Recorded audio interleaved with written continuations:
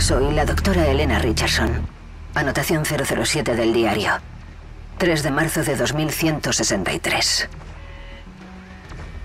Y en él reside nuestra salvación. Pues a medida que cobra mayores fuerzas, mengua el número de ellos. Los sacerdotes comandan ejércitos al norte y al sur, pero es él quien controla la lucha. El círculo interno de la muerte lo sigue hasta los últimos confines de la Tierra y más allá. Soy una conversa. Y tengo fe en el Doom Slayer, la lanza que perfora los corazones de nuestros enemigos. Que se cuiden quienes pretendan hacernos daño, pues solo existe una forma de vida dominante en este universo y empuña la espada de cañones de acero de la venganza. Alabado sea el advenimiento del destructor. Ha llegado la hora del Slayer.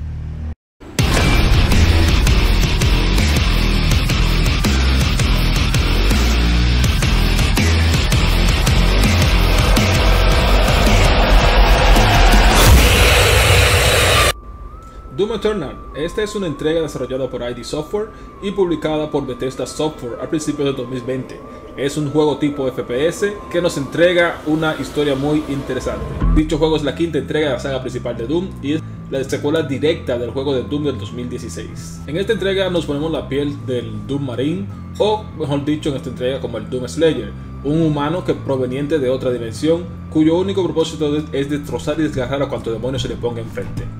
Algunos preguntarán que por qué digo que el Doom Slayer viene de otra dimensión.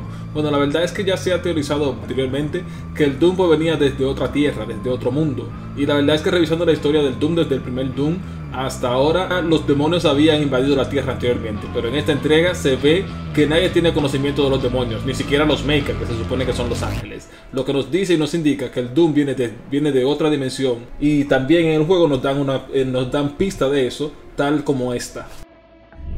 Soy la doctora Elena Richardson. Anotación 002 del diario. Análisis del sujeto Doom Slayer.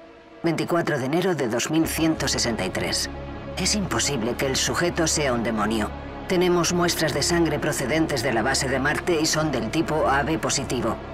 Estamos ante un varón con un genoma casi idéntico al de la raza humana. Como pueden ver aquí la doctora Elena, Richardson nos deja saber que el Doom Slayer no es un demonio ni, un alienígena, ya que su genoma es casi idéntico al de la raza humana, al menos al de los humanos de esa dimensión, pero no es idéntico, lo que significa que no es un humano de esa dimensión. Oye, oye, despacio, cerebrito. Pero para explicar esto más sencillo, ya que eh, yo mismo no soy bioquímico para entender lo que es un genoma ni nada de eso, pues dejaremos a nuestro querido amigo Superman que nos lo explique de una mejor manera.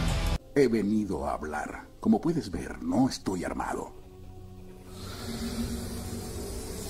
Vas a encontrar muy difícil de creer lo que voy a decir. Eres de una tierra paralela. ¿Y cómo podrías saber eso? Tus órganos están invertidos, tu corazón está en el lado equivocado. Gracias Superman por esa increíble aclaración. Aclarado esto, pues entonces pasamos ya a lo que es a mi opinión sobre el juego.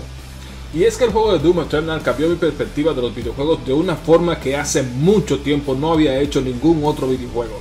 Y es que de hace mucho tiempo ya he venido jugando todo tipo de videojuegos, decantándome más especialmente por los juegos con un modo historia, apartado al que la saga de Doom nunca ha dado mucha importancia, provocando que dicha saga no llamase mi atención con anterioridad. Pero recientemente juegos como Free Fire, Call of Duty y Halo han hecho que se incline más mi interés hacia los juegos tipo FPS. Y es que Doom Eternal es un juego de acción, cargado de adrenalina y tensión que pondrán a prueba tus habilidades como jugador a cada momento que juegues. Esta entrega está cargada de acción, disparos, explosiones, desmembramientos, uh, es toda una jodida locura. Afortunadamente el juego, aparte de tanta acción y destrucción, nos llena también con momentos de tranquilidad y exploración, donde podremos explorar, para la redundancia, el mapa para encontrar, para así encontrar los que son secretos y coleccionables durante todo el juego. También eh, distintos documentos que nos adentrarán poco a poco en lo que es el maravilloso lore de la saga de Doom. La realidad es que antes de jugar Doom Eternal yo consideraba que yo era lo que podía verse como un jugador promedio. Un jugador que no era ni muy bueno ni muy malo pero este juego agarró esa idea sobre mí mismo y la destrozó, la hizo añicos, la volvió en mil pedazos. El juego me hizo pasar por momentos de mucha tensión y mucho enojo. ¡Coño! Mira, mira, coño. Sea la madre. ¡Coño, pero! ¡Coño! ¡Pero muérete, perrito de añe! ¡Coño, este cabrón de su perro! Pero también cabe destacar que me ofreció momentos de gran satisfacción y alegría. ¡Ah! ¡Tú estás loco, eh, cojoño! ¡Ah! ¡Estás loco, eh! ¡Ah! ¡Ah! Doom Eternal es un videojuego que pondrá a prueba las habilidades de cualquier jugador que se considera a sí mismo como jugador pro, con un gran arsenal a disposición cada cual más potente que el anterior. Pero el juego nos enseña a que tenemos que usar todos y cada uno de las armas que tenemos a disposición, ya que cada una va enfocada a un tipo de enemigo diferente. Este juego nos exige aprender a combinar las armas, intercambiándolas entre una y otra para así hacerlas mucho más eficientes. Y es que Doom Eternal no es el típico juego en el que te armas con las mejores armas y empiezas a disparar a todo lo que se mueve. En este juego tienes que analizar el campo de batalla y elegir de forma intuitiva el arma más adecuada para cada enemigo. Pero lo más importante por encima de todo es mantenerte en movimiento, ya que nuestro amigo Brad Pitt aparentemente ha jugado el juego y nos aconseja lo siguiente. People who moved survived and those who didn't. Movimiento es vida. Movimiento es vida. Doom Eternal es un videojuego totalmente recomendable que debes jugar sí o sí tan pronto como sea posible, ya sea en consola, ya sea en PC o en plataformas de streaming en tanto este servicio sea totalmente viable. Doom Eternal me ha encantado, me ha gustado, la he pasado excelentemente bien con su gameplay. Es un juego por lo menos un 98% de, gameplay y un 10% de cinemática. Cinemáticas las cuales nos dan un contexto lo, lo suficientemente bueno para entender el por qué estamos aniquilando todo demonio que se lo ponga por el frente, pero sin ser totalmente cansino. No te da la sensación de que estás dentro de una película, sino totalmente de que estás dentro de un juego. Por mi parte de todo corazón les deseo lo mejor a esta desarrolladora y espero que sigan trayéndonos contenido como este de puro gameplay, acción, aventura y adrenalina para que podamos seguir disfrutando de su contenido. Así que por esto ha sido todo por el video de hoy, con esto me despido, no sin antes recordarle que pueden dejarme su opinión y su comentario en la caja de comentarios, que para eso está ahí.